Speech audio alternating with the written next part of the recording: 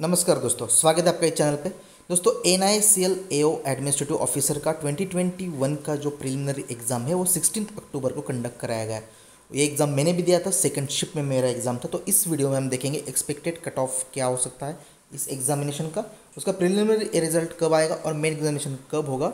और जी हाँ मैं एक्स एन एल असिस्टेंट हूँ, जो 2018 बैच में सिलेक्ट हुआ था, एक साल तक मैंने वहाँ पे काम किया है असिस्टेंट के तौर पर। सो दोस्तों let's begin with the last year paper versus this year paper so दोस्तों लास्ट ईयर का जो 2019 का पेपर था जो जनवरी में हुआ था तीस जनवरी के लगभग वो भी तब हमारा सिलेक्शन हो गया था इसलिए तब एक तारीख को एक फरवरी 2019 को हमारा असिस्टेंट का ज्वाइनिंग था और एओ का जो प्रिलिमिनरी एग्ज़ाम था वो थर्टी जनवरी या थर्टी फ़र्स्ट जनवरी को कुछ तो भी था।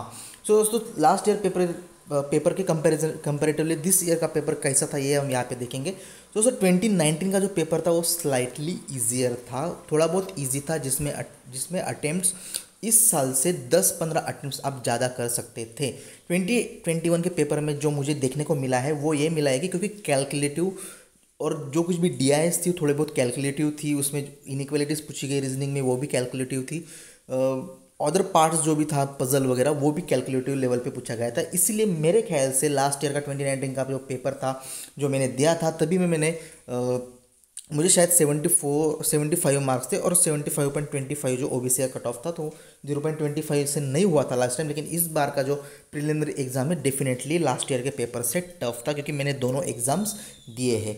अब दोस्तों सेकंड शिफ्ट के रिव्यू के बारे में बताएँगे। दोस्तों सेकंड शिफ्ट में क्या किया गया था? सबसे पहले इंग्लिश का जो आ, सवाल आया था इंग्लिश दोस्तों इंग्लिश में एक अच्छे लेवल का पैसेज आया था आरसी जो दस मार्क का था और वो बहुत ईजी था।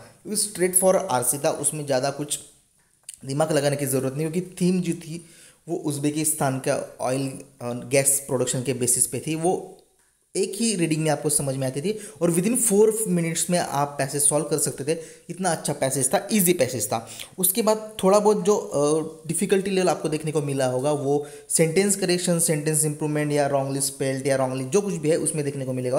लेकिन इंग्लिश का जो लेवल था वो दोस्तों, मैं ईजी कहूँगा ईजी और थोड़ा बहुत मॉडरेट था। मतलब आप अच्छे attempt twenty four twenty five तक अच्छे अटैम्प्ट कर सकते थे। हंड्रेड परसेंट एक्यूरेसी के साथ आप twenty four twenty five attempt कर सकते थे, क्योंकि लॉजिकली भी वहाँ पे इलिमिनेशन मेथड से यदि आप जाते हो, कोई सवाल में अभी आप अटकते हो तो आपको वहाँ पे हिंट मिल सक, मिल मिल सकती थी और आप सॉल्व कर सकते थे इजीली दोस्तों रीजनिंग में मैं बताना चाहूँगा कि दोस्तों रीजनिंग में जो पजल था, वो सर्कुलर पजल जो एक पूछा गया था, उसमें सर्कुलर पजल एट परसेंट का था, लेकिन ऐसा बोला गया कि जो चार पर्सन से वो आउटवर्ड डायरेक्शन uh, में बैठे और फोर परसेंट इनवर्ड डायरेक्शन में बैठे तो इसीलिए वो प्लजल स्लाइटली टफ हो गया।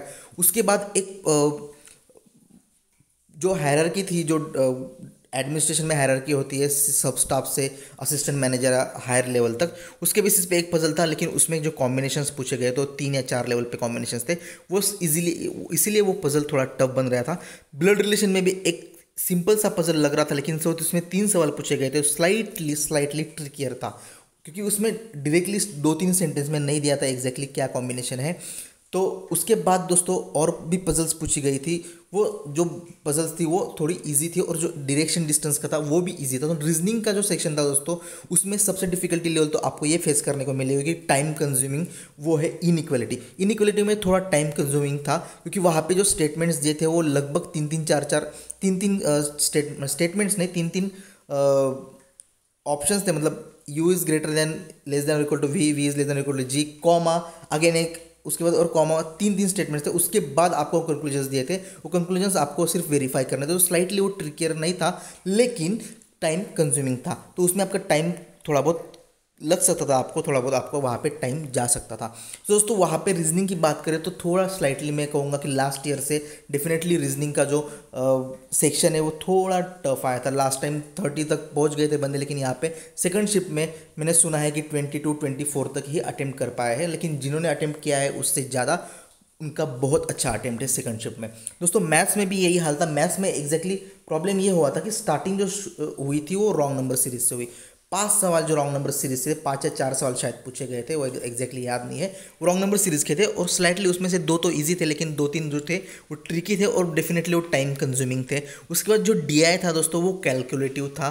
कैलकुलेटिव मतलब आपको जो कैलकुलेशंस थे, वो डायरेक्टली नहीं आ रहे थे। मतलब जो फिगर दी थी पंद्रह फिर उसके फोर्टी परसेंट मेल उसके थर्टी परसेंट फीमेल तो ऐसे कैलकुलेट करना था पंद्रह सौ चालीस का forty percent and thirty percent निकालने में थोड़ा सा टाइम लगता है एज कम्पेरेटिवली पंद्रह से। पंद्रह सौ के आप जितना कैलकुलेट कर सकते हैं ईजिली उतना पंद्रह सौ चालीस का नहीं कर सकते, थोड़ा बहुत दो तीन सेकंड आपके डेफिनेटली ज़्यादा लगेंगे। तो ऐसे DI पूछे गए थे, एक कैसलेट डी भी था, उसमें दो तीन सेंटेंस दिए थे। उसके बाद जो आपको अप्रोजिमेशंस थे, वो इजी थे, उसमें आपको नो डाउट वो सब सभी बंदों ने बहुत इजीली बहुत विद इन वन या टू मिनट में ख़त्म कर दिए होंगे। सो so, जो टाइम कंज्यूमिंग पार्ट था डी था और उसके साथ साथ जो वन वर्ड के जो एग्जांपल्स थे दोस्तों वो भी थोड़े बहुत नॉर्मल टिके थे। एटलीस्ट आपको एक या दो ढाई एक या डेढ़ मिनट लगभग लग सकता था आपको हर एग्ज़ाम्पल एरिथमेटिक का सॉल्व करने के लिए। सो so, दोस्तों जो ओवरऑल डिफिकल्टी लेवल था सेकंड शिफ्ट का वो मैं कहूँगा कि वो मॉडरेट था एक्सेप्ट इंग्लिश इंग्लिश में थोड़ा बहुत आप कैसा है सेंटेंस वाइज होता है इंग्लिश में तरह से जा सकते हैं आपको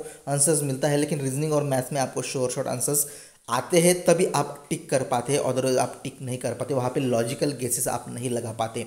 सो so, उसके बेसिस पे यदि बात करें तो जो सेकंड शिफ्ट कर रही हो था और मेरे ख्याल से जो मैंने भी एग्ज़ाम दिया था, मुझे लगा as compare to twenty nineteen वो मॉडरेट था। नॉट टोटली मॉडरेट बट लेकिन मॉडरेट की तरफ़ लीन था। अब दोस्तों, बात आती है गुड अटैम्प्ट दोस्तों गुड अटैम्प्ट ऐसी कोई कंसेप्ट मेरे ख्याल से नहीं होती, क्योंकि गुड अटैम्प्ट हर बंदे के कैपेबिलिटीज़ पे हर बंदे के प्रैक्टिस पे हर बंदे के strong points and weak points पे डिपेंड करता है हर शिफ्ट वाइज डिपेंड करता है। सो so, आप गुड अटेम्प्ट यही कहिएगा जो वेबसाइट वालों ने कभी बताया हो कि ये पेपर एवरेज था समझ मान लो कि बोल रहे इंग्लिश में बाईस करने चाहिए थे रीजनिंग में बाईस और मैथ्स में बाईस उनके अटेम्प्ट से यदि आप बात करते हो उन्होंने बोला है कि सिक्सटी सेवन अटेम्प्ट करना चाहिए sixty six sixty seven attempt करना चाहिए और आपके यदि सेवेंटी अटेम्प्ट हुए सेवेंटी से मतलब दस ज़्यादा तो आपके अटेम्प्ट गुड अटेम्प्ट है। यदि किसी बंदे ने सिक्सटी किया है तो वो गुड अटेम्प्ट तभी हो सकते हैं। यदि एस टी कैटेगरी क्या हो एस टी कैटेगरी जिनका कट ऑफ़ कम लगता है तो उनके हिसाब से सिक्सटी सिक्स गुड अटेम्प्ट है। सो गुड अटेम्प्ट जो डिपेंड करता है दोस्तों, आपकी category cut off and all जो कुछ भी है, जो कुछ भी आपके स्ट्रॉन्ग पॉइंट है वीक पॉइंट है, उस पर डिपेंड करता है। तो गुड पॉइंट्स आप अपने हिसाब से अपने हिसाब से उसको लेके चलिएगा। उसके बाद नॉर्मलाइजेशन सो दोस्तों normalisation definitely important role play करता है, लेकिन दोस्तों मेरे ख्याल से नॉर्मलाइजेशन की बात मैं अब यहाँ पे करता हूँ। यदि आपने first shift second shift third shift या फोर्थ शिफ्ट जो कुछ भी है, उसमें यदि आपकी मान के चलते कि ये दोनों शिफ्ट टफ थी, या इसमें आपके माइनस दस अटेम्प्ट कम हुए इन दोनों शिफ्ट के अलावा। दोस्तों आपको मिल के कितने मार्क्स मिलेंगे? नॉर्मल एक्यूरेसी के पाँच मार्क्स मिलेंगे, लेकिन पाँच मार्क्स तो आप लैक कर रहे हो ना तो नॉर्मलाइजेशन वगैरह, इससे ज़्यादा फ़र्क नहीं पड़ता है, फ़र्क तो तभी पड़ता है जब आप यदि टफ शिफ्ट में आ जाते हैं। और ज़्यादा ही टफ होती है तो आपको नॉर्मलाइजेशन के मार्क्स ज़्यादा मिलते हैं। यदि थोड़ा बहुत इधर उधर उन्नीस बीस रहा तो डेफिनेटली आपको ज़्यादा मार्क्स नहीं मिलेंगे। आपके अटैम्प्ट कम हुए तो उसे आप एक्सेप्ट कीजिएगा रियलिटी एक्सेप्ट कीजिएगा कि मेरी मुझे अटैम्प्ट कम हुए। इसका मतलब आप खुद को ऐसा मत बताए कि मैं टफ शिप में आया था, इसलिए मेरे अटैम्प्ट कम हुए। ऐसा नहीं होता दोस्तों टफ शिप में आया तो आपको नॉर्मलाइजेशन के मार्क्स मिल जाएँगे। उससे आपको डरने की ज़रूरत, लेकिन वो नॉर्मलाइजेशन भी इतने हद तक नहीं होता कि आपकी डायरेक्टली दस मार्क्स बढ़ जाए। तो वो भी थोड़ी बहुत नाइन से भी हो जाती है कभी कभी क्योंकि जो टफ शिप में आता है तो बंदा थोड़े, उनके चांसेस थोड़े कम भी हो जाते हैं। तो दोस्तों, इस बारे में तो हम, वो तो बात ना करें, वही बेहतर, क्योंकि ये तो हर साल से चलता आता, आया हुआ डिस्कशन होता है। दोस्तों, अब डेट ऑफ़ प्रिलिमिनरी एग्ज़ाम का रिज़ल्ट जो है, वो क्या हो सकता है? दोस्तों, एन का जो ट्रेंड है, वो आपको पता होगा, शायद आपने असिस्टेंट या एओ का एग्ज़ाम पहले दिया होता तो वो जो रिज़ल्ट लगाते दोस्तों, फिफ्टीन डेज़ के अंदर लगा देते तो हम यही एक्सपेक्ट करेंगे, थर्टी अक्टूबर के अराउंड आपका जो प्रिलिमिनरी एग्जामिनेशन का रिज़ल्ट आ जाएगा और expected date of main examination जो होगा दोस्तों, आपका 20 या 21 नवंबर डेफिनेटली हो सकता है। क्योंकि जो एग्जामिनेशन कंडक्ट कर, कराती है एन वो सिर्फ़ विद इन वन मंथ में कंडक्ट कराती है। लेकिन हम ये एक्सपेक्ट कर सकते हैं कि थर्टी फ़र्स्ट अक्टूबर तक यदि रिज़ल्ट आता है तो फोर्टीन आपका संडे है तो उसके चांसेस कम है। तो हम यही मान के चलते कि आपकी जो एग्जामिनेशन हो सकता है मेन एग्जामिनेशन वो 20 या 21 को होगा। अब दोस्तों, बात है एक्सपेक्टेड कट ऑफ़ दोस्तों एक्सपेक्टेड कट ऑफ़ ये बेस होता है, जो एग्ज़ाम यदि हमने दिया है, तभी हम प्रेडिक्ट कर पाते हैं कट ऑफ़ अभी एग्ज़ाम मैंने दिया था, इसलिए मैं इसका कट ऑफ़ एग्जैक्टली प्रेडिक्ट कर पा रहा हूँ, क्योंकि ये एग्ज़ाम का लेवल मुझे पता है, मैंने दिया था, मैंने रियलाइज़ किया है, बंदों का कितना अटैम्प्ट हुआ, क्या हुआ है। पढ़ा है उनसे पूछा है। तो उसके बेसिस पे कट ऑफ़ होता है। डेफिनेटली दोस्तों आपको इस बार कट ऑफ़ में थोड़ी बहुत गिरावट देखने को मिलेगी। Last time open and general cut off था, वो एटी था। तो इस बार मैं मान के चलता हूँ वो सेवेंटी टू तो चांसेस बहुत कम हो गए। सेवेंटी फोर के चांसेस ज़्यादा है सेवेंटी फोर तक वो लग सकता है। उसके बाद ओबीसी का हम यहाँ पे नॉन क्रिमिनल का कट ऑफ़ कर प्रेडिक्ट कर सकते हैं सिक्सटी सेवन टू सेवेंटी तक। उनका कट ऑफ़ सेवेंटी तक जा सकता है। सिक्सटी सेवन के चांसेस थोड़े कम है। एससी और एसटी का cut off category cut off sixty five S का 65 टू 67 के भीतर लगभग मोस्टली वो 67 की तरफ़ झुका हुआ नज़र आएगा और एसटी का कट ऑफ़ आपको 63 तक झुका हुआ नज़र आएगा। दोस्तों कट ऑफ़ जो है, आपको बोलेंगे, बहुत सारे बंदे यहाँ पे बोलेंगे कि नहीं एसटी का कट ऑफ़ और ओपन के कट ऑफ़ में 20-25 मार्क का डिफरेंस होता है। दोस्तों, अब ये जो है, वो धीरे धीरे बदलती जा रही है। कॉम्पिटिशन का लेवल चेंज होते जा रहा है। एसटी कैटेगरी में भी आपको कॉम्पिटिशन अच्छे लेवल को देखने को मिलेगा कि उन बंदों का ये जो सोचना है, वो उन्होंने अपने मन से ये ख्याल निकाल देना चाहिए कि कट ऑफ़ अब कम लगेंगे। डेफिनेटली दोस्तों वैकेंसीज भी दिन ब दिन कम होती जा रही है और कट ऑफ़ भी कंपटीशन के बेसिस पे दिन ब दिन बढ़ते जा रहे हैं। अब दोस्तों, मैं यही कहूँगा कि आप यदि सोचते हैं कि आपका आपका जो अटेम्प्ट है, अस्सी, पचासी है, उसमें accuracy hundred percent ninety five percent है तो डेफिनेटली आप यहाँ के प्रिलिमिनरी एग्ज़ाम क्रैक कर सकते हैं और मेंस के लिए अपेयर हो सकते हैं। दोस्तों तो दोस्तों, जो बंदे यहाँ पे प्रिलिमिनरी एग्ज़ाम का वेट करेंगे और रगलने के बाद पढ़ाई स्टार्ट करेंगे तो उनको लगभग सिर्फ़ पंद्रह दिन ही